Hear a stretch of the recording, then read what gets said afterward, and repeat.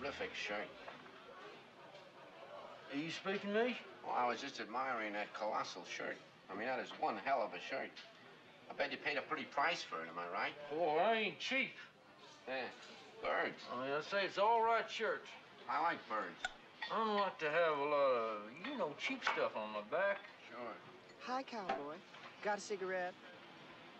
Hey, sweetheart. More goddamn faggots in this town. Oh, kiss it, Ratso. Up yours. You gotta watch out for that. Hey, you really know the ropes. Oh, damn, I wish I bumped into you before. Huh. I'm Joe Buck from Texas.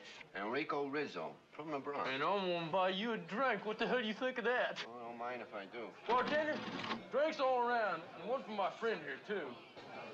And I know when I give satisfaction, I give her satisfaction. I mean, you see what I'm getting at here? She got a penthouse up there with a color TV, more goddamn diamonds than an archbishop. And she busts out bowling when I ask her for money. For what? For money. Wait a minute. For money for what? Oh, hell, I'm a hustler. You didn't know that? Well, how am I supposed to know that? I mean, you gotta tell a person these things. I'm a hustler. All right, yeah, you're a hustler.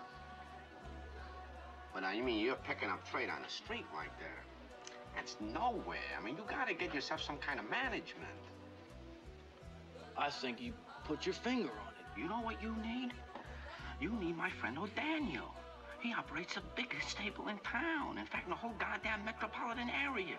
It's stupid a stud like you paying. I mean, you don't want to be stupid.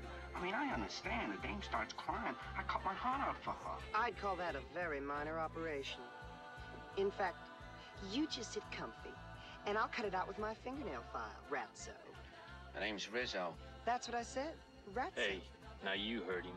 Oh, that's all right, Joe. I mean, uh, you know, uh, I'm used to these types that get their kicks picking on cripples. I mean, the sewer's full of them. I just want to ask you one question, cowboy. If you're sitting over here, and he's sitting all the way over there, then how's he gonna get his hand into your pocket? Well, suppose you Oh, let me work. But I guess he's got that all figured out. Good night, sweets. Faggot, Provolone. faggot. Look,